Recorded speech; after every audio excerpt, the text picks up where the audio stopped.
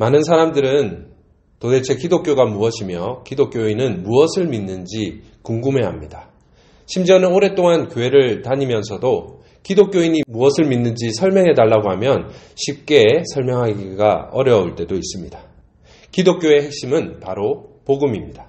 기독교인은 복음이 말하는 하나님을 믿는 사람입니다. 그렇다면 복음은 과연 무엇일까요? 성경에서 이 복음을 나타내는 단어로 유앙겔리조라고 하는 단어가 있습니다. 이 단어는 황제 아들의 탄생이나 전쟁에서의 승리와 같은 기쁜 소식을 전할 때에 나타내는 단어입니다. 그래서 복음은 좋은 충고가 아니라 좋은 소식입니다. 좋은 충고는 그것을 듣는 사람의 어떤 행동을 요구하지만 좋은 소식은 그렇지 않습니다. 그저 그 소식을 기쁘게 듣고 사실로 받아들이기만 하면 되는 것이죠.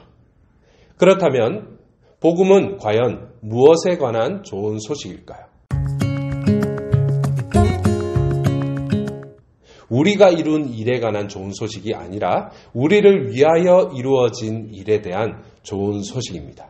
하나님께서는 자신의 아들 예수 그리스도를 통해 우리를 위해 놀랍고 위대한 일, 바로 구원을 이루어 주셨습니다.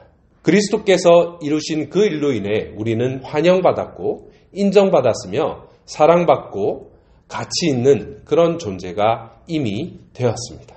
추가적인 노력이나 행동이 필요하지 않습니다. 그저 그 좋은 소식을 듣고 기뻐하고 나의 것으로 받아들이기만 하면 됩니다.